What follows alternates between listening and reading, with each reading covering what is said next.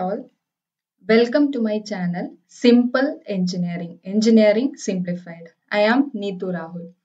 Today we are going to see about different types of feedback in control system and some examples of that. Let's move to the video. So different types of types of feedback. If we take different types of feedback, we have positive feedback as well as negative feedback. So positive feedback means in that you have C of S by R of S is equal to G of S by 1 minus G of S and C of S by R of S is equal to G of S by 1 minus G of S H of S.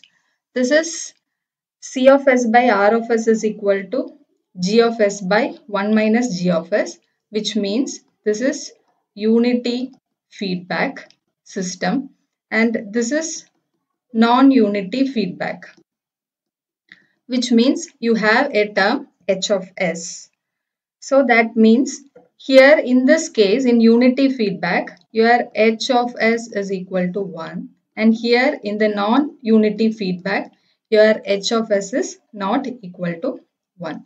So if you take your negative feedback system same we have C of S by R of S which is equal to G of S by 1 plus G of S and C of S by R of S is equal to G of S by 1 plus G of S H of S where this is your unity feedback and this is your non-unity feedback.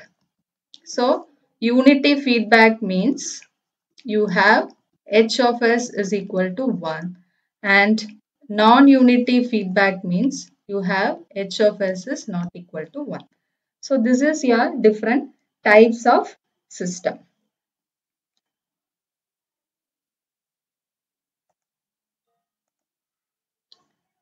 So next we can consider the closed loop system that is your closed loop control system. So you have a G of S which is your G of S block. Next you have an error detection that is given to G of S. So this will be your E of T. Then you have R of S that is your input and output from the G of S which is equal to your C of S and a portion of that is fed back to the input section. So this is your H of S which is your feedback. So C of S by R of S is equal to G of S by 1 plus G of S H of S depending upon the types that is 1 plus and 1 minus. This, this will change that is depending upon your this one. This one will change that is 1 minus G of S H of S and 1 plus G of S H of S depending upon the positive feedback or negative feedback which you are using. So this is your different types of uh, control system that is negative feedback control system. Next, we can take one example.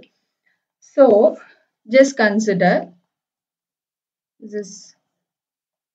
We can take an example one. Uh, question can be a unity impulse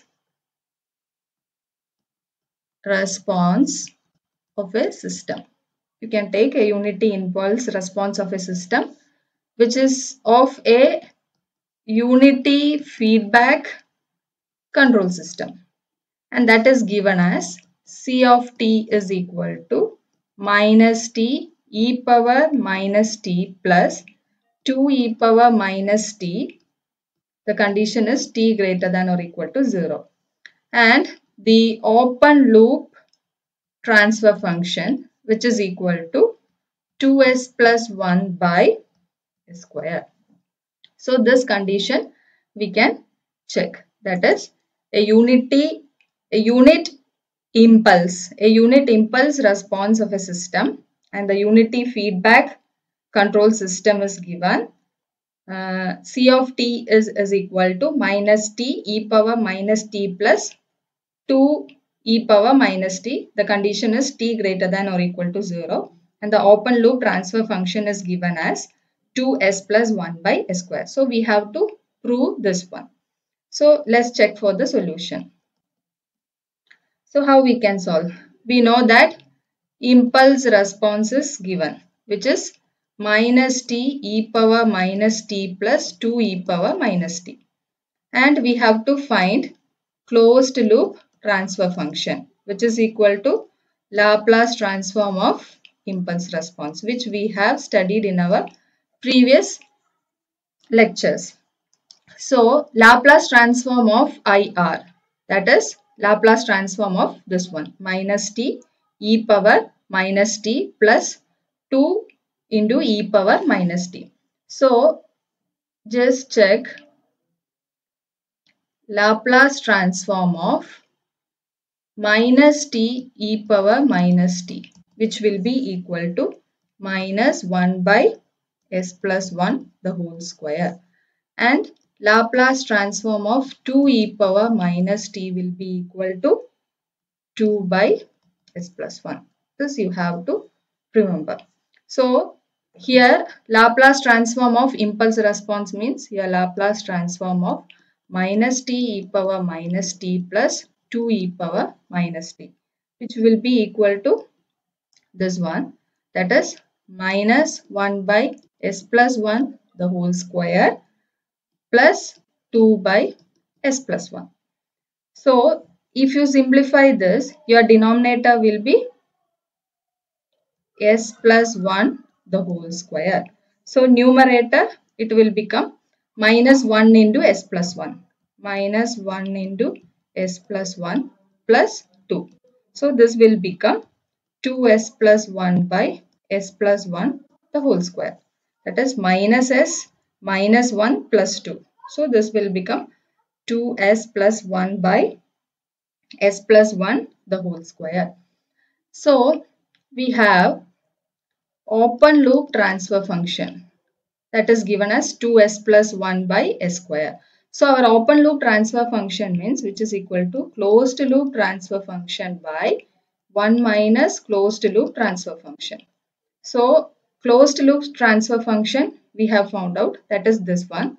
So which is equal to 2s plus 1 by s plus 1 the whole square. This is your closed loop transfer function divided by 1 minus closed loop transfer function. So again this will become 1 minus 2s plus 1 by s plus 1 the whole square.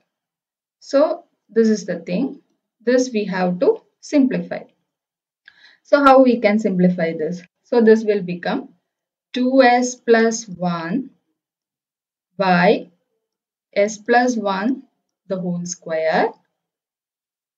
This one you have to simplify. This will become s plus 1 the whole square minus 2s plus 1 by s plus 1 the whole square. So this we can write it as divided by s plus 1 the whole square minus 2s plus 1 the whole divided by s plus 1 the whole square. So again I was writing over here. So this will become what? s plus 1 the whole square. You have to simplify that a plus b the whole square which is equal to s square plus 2s plus 1.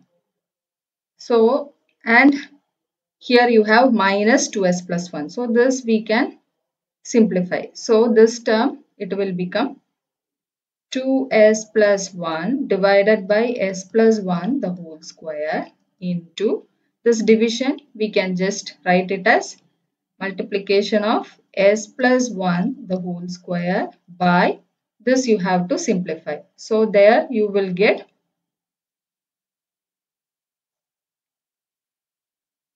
s plus 1 the whole square s plus 1 the whole square minus 2s minus 1.